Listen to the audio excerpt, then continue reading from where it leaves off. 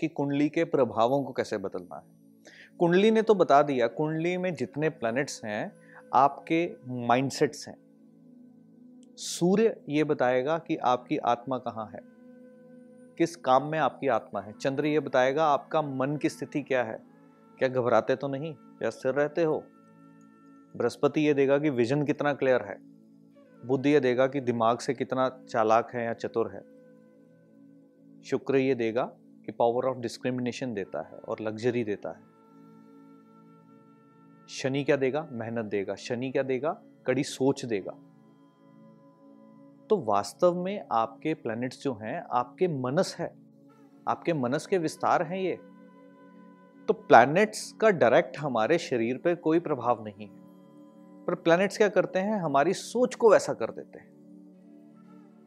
अभी हम गुस्से में आके किसी से झगड़ा कर लिया तो मंगल करवा गया। फोर्स है ना?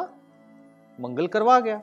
पर अगर हमने उनको एक्टिविटीज़ को बदल दिया, हमने प्लैनेट्स के प्रभावों को बदल दिया तो कुंडली फेल हो जाती। है इसीलिए प्रिडिक्शंस फेल होती। कर्म जब करते हो तो प्रिडिक्शंस जो है वो फेल हो जाती। हालाँकि कुंडली आपको ये बता देती है कि इस व्यक्ति की मनोस्थिति कैसी है।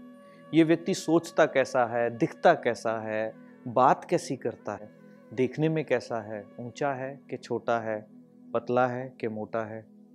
एस्ट्रोलॉजी ये बताएगी, पर क्या उन प्रभावों को नहीं बदला जा सकता? अगर एस्ट्रोलॉजी में किसी के पीड़ा लिखी है, अरे, जेल में जाने के बाद कैदियों को भी मेहनत करने पे सजा कम कर दी जाती है। कर दी जाती है ना? तो एस्ट्रोलॉजी हमें बताती है कि हमारा जो पुनर्जन्म जो रहा, पुनर्जन्म में हमने क्या क्या अपने मनस के अंदर संचय किया?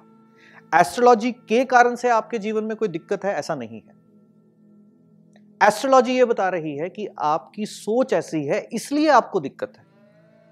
पर इसका यह अर्थ नहीं है कि एस्ट्रोलॉजी आपकी मेरा तो भाग्य ही खराब है। ऐसा नहीं होता। और ऐसा बिल्कुल भी नहीं होता। ये विधा मैं आपको दे रहा हूँ आपको पता चल जाएगा कि इसकी लाइफ कैसे है कैसी रहेगी। पर मैं मत कभी लाना कि मुझे पता है आपको कुछ नहीं पता शून्य हो। ये बात ध्यान रख लेना जिस दिन शून्य बनते हो तो जिस भी नंबर के साथ लग, लग जाओगे उसको बढ़ा दोगे। जिस दिन एक नंबर वन बनने की कोशिश करी उस वक्त सिर्फ़ एक नंबर रह गए।